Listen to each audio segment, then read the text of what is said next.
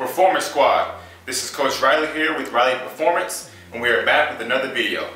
Now, today's discussion, we're going to be talking about how your mental health is affected by food. Let's get started. So the reason I want to do this video is because I know it's 2022, and if you guys saw my previous vlog, I talked about how doing the things that need to get done in order to do them versus, you know, putting our feelings into it. And one of the things that helps me along is choosing the foods that actually are gonna give me the best results mentally and physically, right? Now, when we talk about how food affects your mental health, it can either affect it in a good way and a bad way. And in today's video, we're gonna talk about both. So if you guys are familiar with carbs and the different categories of carbs, right? Have our complex carbs and we also have our simple carbs. Now, just to put it in basic terms, I don't want to get too much into detail on it, but your simple carbs are going to be just like your basic sugars, you know, sweets, pastries, things like that that are very digestible, easy to easy to digest, right? And then your complex carbs are going to be more so like your vegetables, you know, fruits, different types of fruits, bananas in particular, fruits that are a little harder or take longer to process. Now the reasoning for me bringing up these two types of carbs is because they both function in different ways and each carb you eat will give you a different result either mentally and physically. But today we're going to be talking about the mental aspect of it, right? So I want you to think about a donut, right? Let's just think about a donut. Krispy Kreme donut, a Dunkin' Donuts donut, whatever donuts you like, let's just think about a donut on one side. That's gonna represent our simple carb, right? Easy to uh, digest, you can eat a lot of them. Donuts gonna represent our simple carb. And on the other side, we're gonna have a banana, right? Just a regular fruit, but this is gonna be a complex carb, which means it packs a lot of nutrients, a lot of healthy minerals that are, that are gonna be good for your body, right? Now we have these two items here. We have the donut and we have the banana. Now, just a rhetorical question to ask yourself, for those of you watching this video, which one do you think will give you the best results pre-working out to the gym? I'll give you a moment. Now, if you were smart, you would say the banana. Now, one thing to know about simple carbs, the sugars, the quick sugars, is that the reason why your body is able to digest them so quickly is because it's in the title. They're simple sugars, simple carbs. Now, the problem is, is that we focus too much on these types of carbs, right? And what it does to your brain, too much sugar in the brain will, will cause an overdose. And there's a lot of other deficiencies that are attached to that that I'll get into in later parts of the video.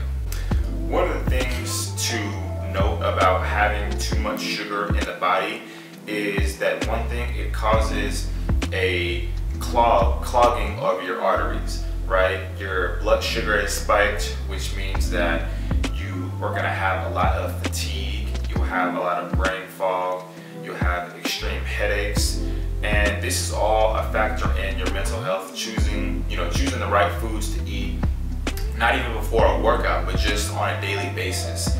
Now, the healthy amount of sugar for us to consume a day is about 30 grams. And anything past that, you'll start to notice those symptoms such as headaches, spiked blood pressure, sweating, nausea, and it goes into a lot. So really, really, really be careful as far as how much sugar you are putting into your body. Now when we talk about the banana, the complex carb, and the reason I say it's a complex carb, or the reason why it's called a complex carb, is because it consists of multiple nutrients that are in fact healthy for your body and your, your, your health, your, your brain, right? So when we talk about the banana, when we talk about just fruits and vegetables in general, the, the misconception is that we expect these foods that are supposed to be good for us to taste good. Or we expect them to have a, to meet our palate, our, our taste buds. But the fact of the matter is, is that we're not necessarily eating the foods the complex carbs for the taste, we're eating it for the function. Now for the banana in particular in this example, bananas are packed with fiber, uh, packed with potassium, and the good thing about fiber is it slows down your digestive rate so you're able to process food more smoothly.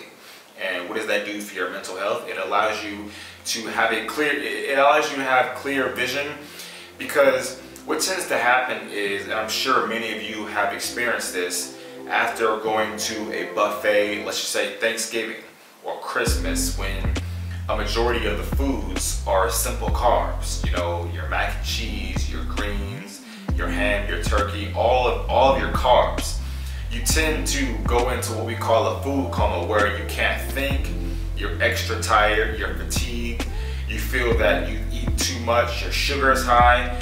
These are all the effects of what your body's telling you when it's telling you, okay, we're having too many simple carbs. And that's one thing that I've just noticed as far as how how your mental health is throughout the day. Just look at what you're eating, look at what you're actually putting into your body. And that's that's like the key, that is the key to having a, a healthy mental health. Now, the next question I would ask you is when you are choosing these simple carbs over your complex carbs, okay, let's say you do choose the donut over, over the banana when you go to the gym. Now, how effective and how much energy do you think you'll have during that workout, right? Yeah, the donut may taste better. Yeah, it may have more sugar. Yeah, it may be more satisfying. But you get into that workout and you start to feel that in your system. You start to feel that in your stomach.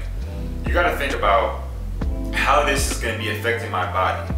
Because, it, you know, I've had numerous I can't even count how many situations where when I worked at the gym, I've seen people come in with boxes of pizza, with wings, with Subway sandwiches. I mean, you name it, just a bunch of a bunch of unhealthy, simple carbs, and they expect that the workout will help them burn it off, but they miss the point of which types of uh, which type of carb will actually help them be effective during the workout. So I just wanted to point that out to you to really make sure that you're understanding the difference of carbs because carbs is just the main category. There are subcategories. There's the simple and the complex. And we want to make sure that we're gearing our, our, our palate more towards that complex section as far as what's going to be the best results um, throughout the workout. And just one last thing before I go here, I do want to mention that part of the reason why we go so hard on the nutrition aspect as far as you know which carbs to choose, what type of protein to choose, which healthy fats to choose before either just doing a daily task or something like going to the gym. Guys, you gotta remember the whole theme behind this is that we are still creating the best version of ourselves. And you have to ask yourself that honestly, when you choose to eat these types of foods, is this going to help me create the best version of myself?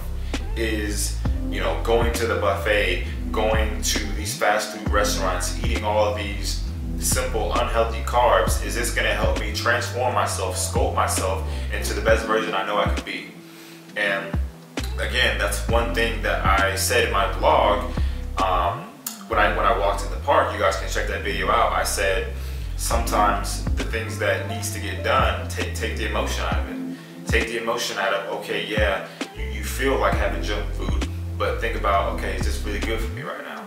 Is this gonna serve, is this gonna get me to that dream body I said I was gonna have, my New Year's resolution or my vision?